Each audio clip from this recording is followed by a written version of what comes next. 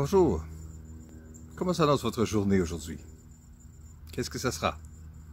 Qu'est-ce que vous allez accomplir aujourd'hui? Qu'est-ce que vous souhaiteriez réaliser?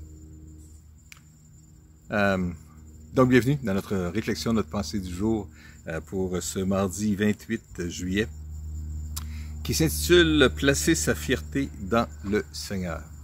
Il s'agit en fait des, euh, réflexions, euh, des lectures qu'on faisait les derniers jours dans la deuxième épître aux Corinthiens, chapitre 10 et 11. Et puis, euh, se trouve soudainement cette, cette pensée-là ici, que nous voyons dans le chapitre 10 et au verset 17. Si quelqu'un veut éprouver de la fierté, qu'il place sa fierté dans le Seigneur. Pour mettre cette affirmation-là à l'intérieur de son contexte, l'apôtre Paul, dans 2 Corinthiens, dans les chapitres 10, 11 et 12, est en train de euh, défendre son ministère. C'est-à-dire qu'il a été attaqué par euh, des gens qui disaient qu'il n'y avait pas euh, tout l'équipement nécessaire, qu'il n'était pas euh, suffisamment compétent ou qu'il n'était pas un si grand orateur que cela. Bref, il y avait des critiques qui étaient faites à l'égard de son ministère. Et Paul devait rétablir son autorité, son ministère et simplement établir le fait que, ben oui, je suis bien l'apôtre de Jésus-Christ et c'est bien moi qui vous annonce l'Évangile, etc. Donc, il est dans, dans une, une, situation où est-ce qu'il doit expliquer ou, ou défendre euh, son ministère, où il pourrait facilement trouver un grand sujet de fierté. D'ailleurs, il dit à un moment donné, je vais, je vais, je vais me, comporter un peu comme euh, quelqu'un qui, qui ne connaît pas Dieu, puis je vais mettre ma fierté dans tout ce que j'ai accompli ou dans tout ce que je suis à cause de ma descendance, à cause de ce que j'ai appris et tout ça. Mais Paul ici est en train, dans le contexte donc, de défendre son ministère. Il a été l'objet de critiques qui ont été faites à son égard, parce que ce n'était pas un être qui est parfait, c'était pas quelqu'un qui était sans limite, c'était pas quelqu'un qui avait toutes les qualités, euh, c'était quelqu'un qui, à qui, dont on disait qu'il était pas comme les autres, euh, pas comme d'autres, il était peut-être inférieur comme orateur. Euh, et finalement, il y avait des gens qui avaient des, préférences, et puis il y avait des gens qui l'accusaient de cette façon-là aussi. Mais Paul revient avec ce principe-là ici, et c'est là où je veux revenir dans l'essentiel.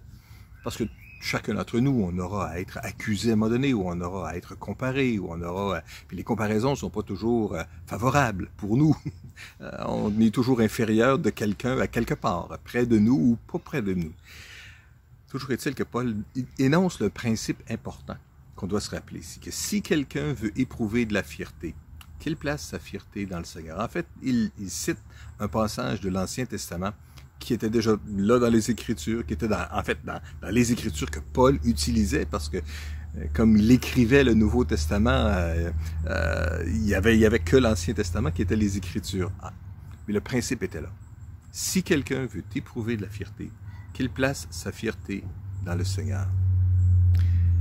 Paul, dans le fond, on voit derrière tout ça, derrière cette affirmation-là à l'intérieur de, sa défense ici, l'acceptation d'un fait, de la réalité humaine, euh, de l'époque et d'aujourd'hui.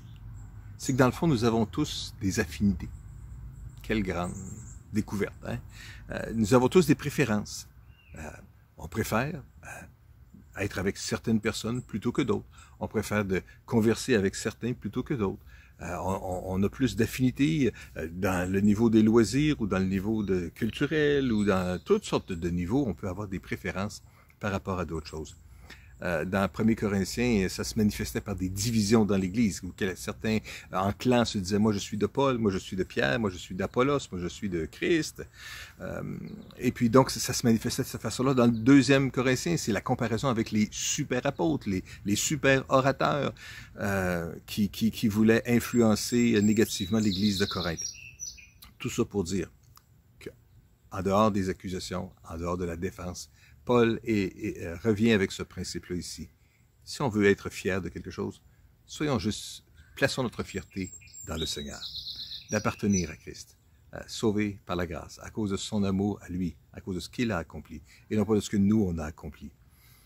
Alors, je vous souhaite aujourd'hui que de quoi que ce soit que vous ayez à accomplir, euh, quelques œuvres que vous accomplissiez, quelques textes que vous écriviez, quelques euh, découvertes que vous ferez, euh, félicitations pour tout ça. C'est une belle réalisation. Plaçons notre fierté dans le Seigneur aujourd'hui en toutes choses que nous ferons. Amen. On peut prier ensemble. Seigneur, je te remercie pour mes frères, mes sœurs. Merci pour la bénédiction qu'on a de pouvoir échanger à nouveau à l'égard de ta parole aujourd'hui, de toute la richesse qui se trouve dans les Écritures. Merci, Seigneur, de ce que tu nous invites à placer notre fierté en toi. Et c'est ce que nous voulons faire aujourd'hui. Aide-nous donc aujourd'hui, dans notre quotidien, euh, dans ce que nous expérimenterons aujourd'hui, ce que nous vivrons, euh, à placer notre fierté qu'en toi. Nous te donnons à toi seul la gloire, Seigneur, au nom puissant de Jésus. Amen. Et Amen. Alors, je souhaite une belle journée dans le Seigneur, qu'il vous inspire, qu'il vous dirige, qu'il vous guide, qu'il vous rende productif et mettrez votre fierté en lui.